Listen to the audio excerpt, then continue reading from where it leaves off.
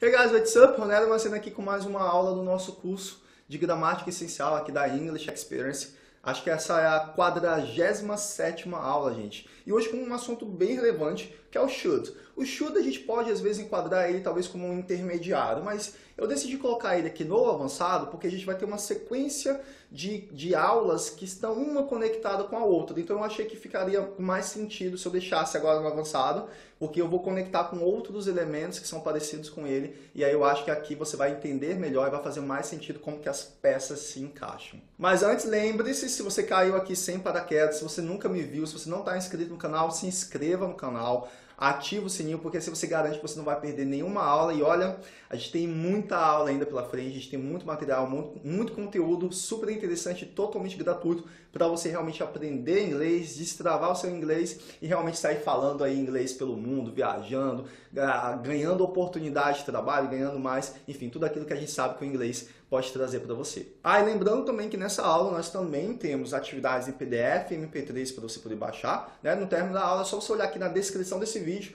tem um monte de link lá e tem um dos links que é para um, uma página lá no meu site com todas as aulas, tudo para você poder baixar super organizado, tá bom?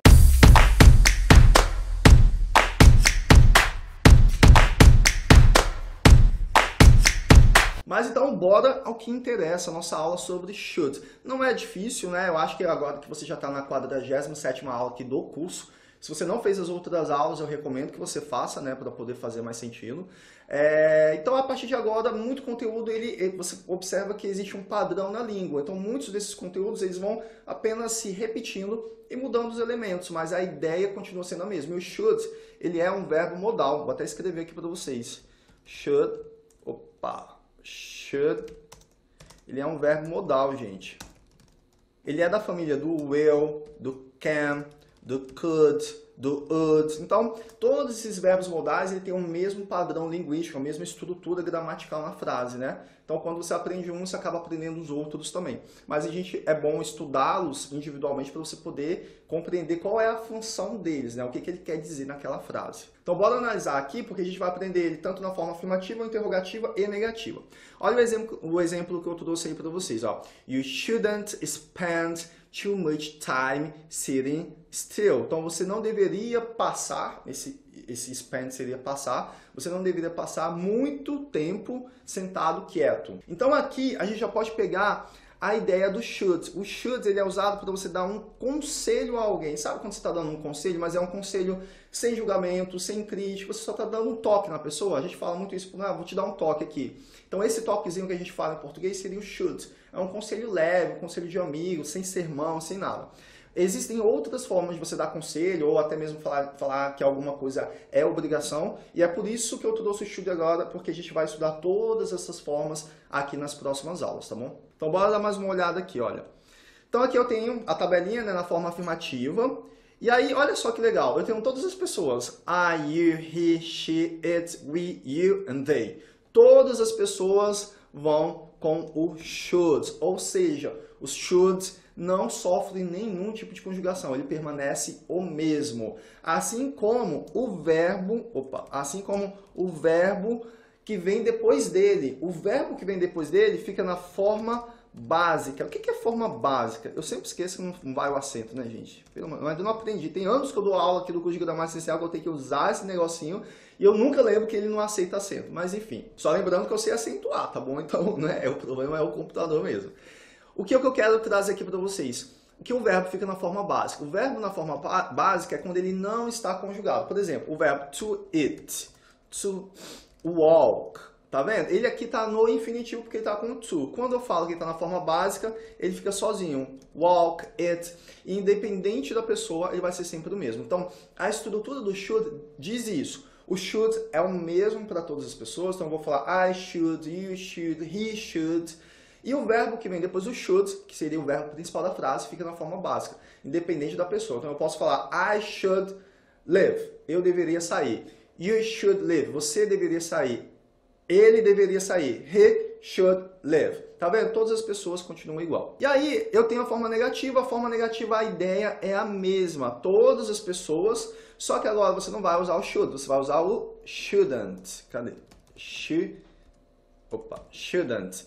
que nada mais é do que o nosso should not. Só que ao invés de você falar should not, você vai falar shouldn't, que é muito mais é, comum você falar dessa forma. E aí, gente, mais uma vez a estrutura se repete, ou seja, shouldn't com todas as pessoas e o verbo que vem depois também na forma básica. E aí nós temos as perguntas e as respostas curtas. Né? Então, como é que a gente faz pergunta usando, usando o should? Da mesma forma que você faz com will, com can, com would, por isso que eu falei que ele é um verbo modal. Basta você colocar ele, aqui ó, should, na frente do sujeito, ou seja, no início da frase, né? Então, se a frase é afirmativa, por exemplo, I should go, eu deveria ir, ou eu devo ir. Eu quero fazer uma pergunta, eu devo ir? Eu coloco should antes do sujeito. O sujeito aqui é o I, e aí eu coloco should I go? Should I? Aí é mais como eu, eu linkar, né? Ao invés de eu falar should I, should I? Should I go? Eu deveria ir. Então percebe? Aí isso vai ser igual com todo mundo. Should, you, should, he, she, it. Depois a estrutura continua a mesma. E como é que ficam as respostas? As respostas curtas, né? Porque no inglês é muito comum você falar, tipo assim, é, eu pergunto para você, ah, você, é, você devia acordar cedo.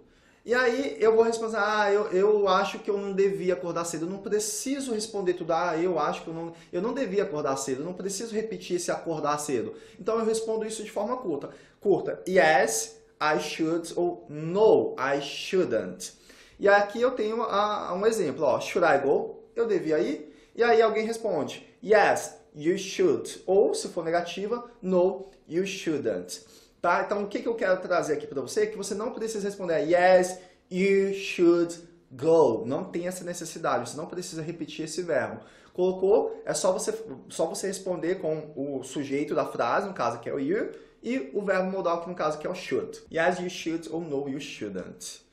Bora ver mais aqui. E aí, só mais um exemplo, né? Where should I go? Why should I go? Observe o seguinte, quando eu tenho uma partícula interrogativa, como é o caso do where, do why, do who, do what, é essa partícula que vai no início da frase. Então, observe quem está no início da frase aqui, gente. É o where e o why. E só depois vem o should. Estrutura básica do inglês. Eu não vou ficar focando nisso porque, né, se você chegou até aqui, eu acredito que você já aprendeu tudo isso lá nas, nas nossas aulas anteriores. Então, basicamente, só para poder reforçar que o should, na verdade, ele vem antes do sujeito. O sujeito é I, you, he, she, independente de quem seja o sujeito, ele vai vir antes desse sujeito. E se tiver uma partícula interrogativa, é essa partícula que fica no início da frase. Beleza? Então, bora lá. Ó, complete the rule. Uh, we use should or shouldn't plus the... Então, a gente usa o should e shouldn't com mais o quê? of the verb to give advice. Então, como é que fica essa resposta?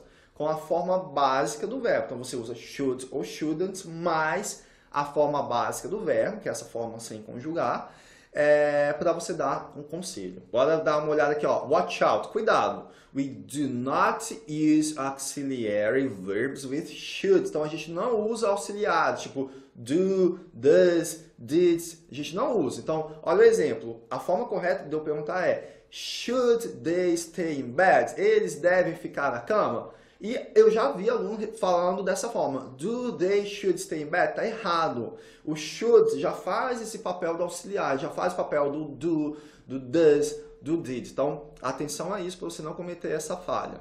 Bora fazer uns exercíciozinhos aqui então? Então aqui basicamente você vai completar as frases usando should ou should. Gente, esse assunto é muito tranquilo, né? Então você só vai usar should ou shouldn't de acordo com o sentido da frase, de uma forma que faça mais sentido para você, tá bom? Então, analisem as frases, é, deem pausa no vídeo agora e busquem responder cada uma dessas frases aí de acordo com o sentido para ver se é um conselho afirmativo ou negativo. Bora lá fazer a correção. Estou acreditando que você deu pausa e fez as atividades, hein? Deixa eu só apagar aqui do lado. Uh, a primeira frase, então, é You, eat too much junk food. It isn't healthy. Então, ele está falando assim que você devia ou não devia comer muita comida besteira, porcaria, né? Junk food seria comida porcaria, chips, essas coisas assim, né? It isn't healthy. ele está falando que não é saudável. Então ele está dando um conselho para a pessoa hum, provavelmente não comer, né? You shouldn't. Você não devia comer, né? Você não vai dar um conselho para a pessoa ficar comendo uma coisa que faz mal para a saúde. Number two, the children do some exercise instead of playing video games. Então as crianças deviam ou não deviam fazer alguns exercícios ao invés de ficar jogando jogos no videogame. Então, você está dando um conselho para a pessoa fazer, para as crianças fazerem isso. Então, é afirmativo. You, the, the children should. Número 3. We should or shouldn't work on our project tonight. Então, nós devíamos ou nós não devíamos trabalhar no nosso projeto à noite. Então, muito provavelmente é should, né? Você está dando conselho para a pessoa, para vocês fazerem isso. 4. You tanana, go to bed late the night before your exam. Você devia ir para a cama tarde na noite anterior ao seu exame ou você não devia ir para a cama tarde no, na noite anterior ao seu exame?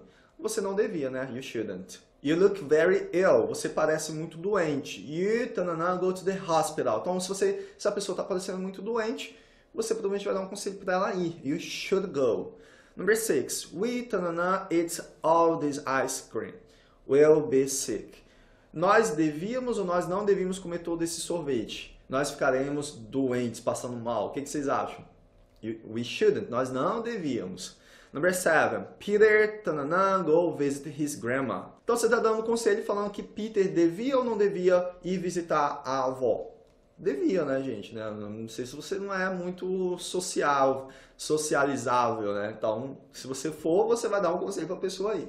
Gente, como eu falei, é uma aula muito simples, é uma aula muito tranquila, mas as próximas aulas vão estar conectadas com essa, né? Nesse, sentido de dar conselho, falar um pouco mais sobre obrigação, etc.